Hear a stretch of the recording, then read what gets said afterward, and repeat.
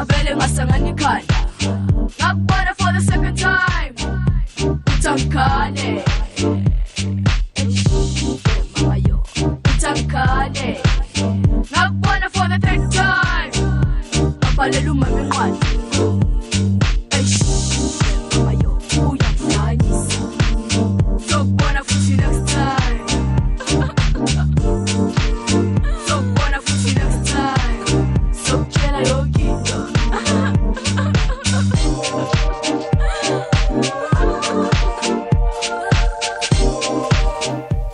man, who would forget this track? Who would forget this track? I mean, Kwaito star and entertainment personality Nomasonto Maswanganyi, popularly known as Mshoza, has died.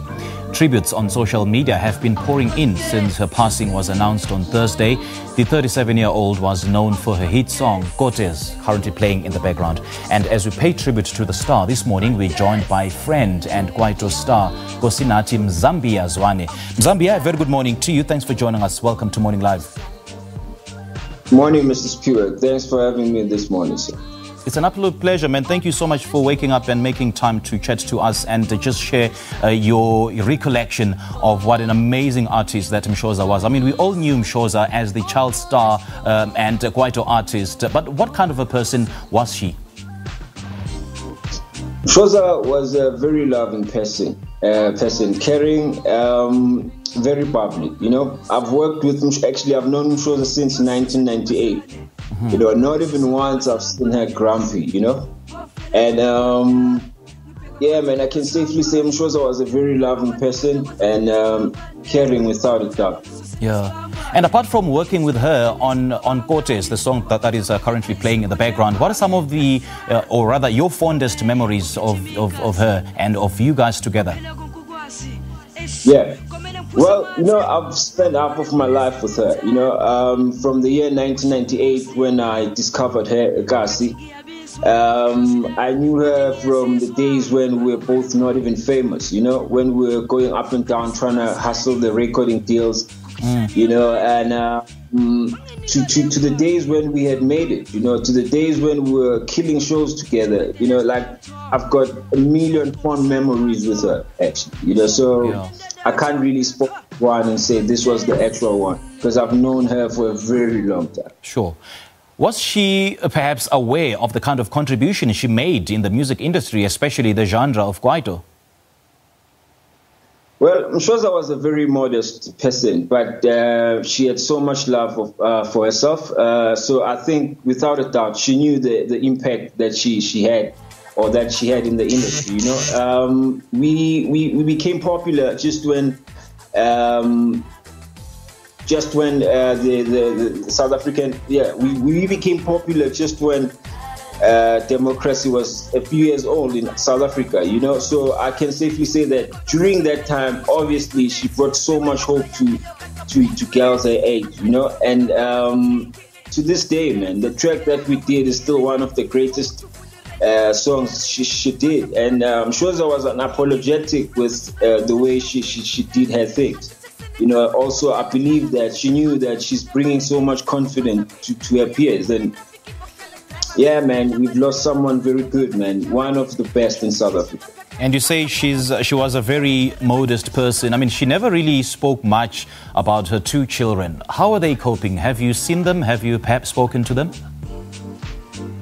Well, um, I spoke to her sister yesterday, her younger sister Sipati, and uh, we've been talking about a few things, obviously, you know. But I haven't really gone deep into the family to to speak to everyone that I know, you know. So it's not really a, a, a, easy times right now, you know. And I'm sure with Nabo they're dealing with the loss in their own way, you know. Yeah, so sure. it's, it's it's a very hectic season for us. Yeah. And what made your relationship with her so so real and so genuine?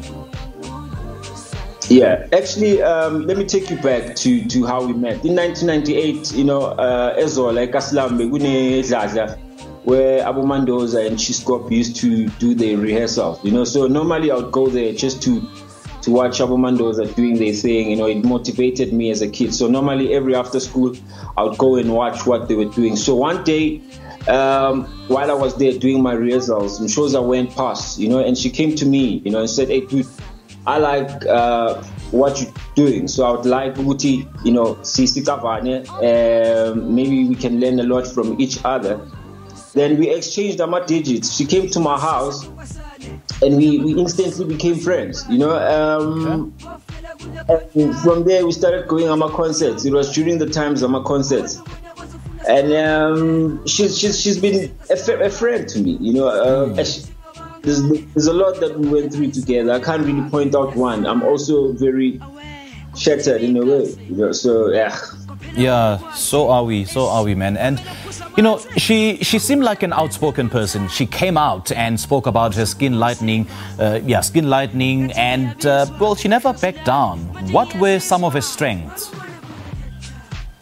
Okay, one thing I can tell you about her, I'm sure I was unapologetic. As much as she was a humble being, you know, I can I can safely say, you know, at home when you grow up, my parents work will instill some principles and values in you but obviously, you know, when you start going out to the bigger world, you know, Gunama prejudice, especially in the music industry, you know, uh, there's so much that's going on that maybe would change your personality a bit. But one thing that I know about Umshoza was that she was unapologetic about what she was doing and uh, she really loved herself. So I think her strength was, uh, especially the main one, was self belief. You know, she believed in herself and she did what she wanted to do, which is one thing that people are lacking mostly self confidence. You know, so I think she had that. Okay. I know that we'll always remember her for belting out hit after hit, but how will you always remember her? Oh man, you know, um, every time we met, we cracked jokes. You know, we'd reminisce about. Uh, the times we've had together. Um, you know, there was a time there was a guy that used to design clothes for us as kids on stage. So she had that balloon um, sweater that she used to wear. So I used to make fun of it. So every time she sees me, she would remind me of that time, and she would also make fun of me.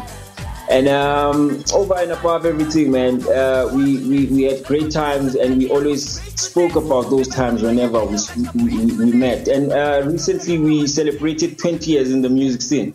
And I did an interview with one radio station in KZN, and little did I know that she was online.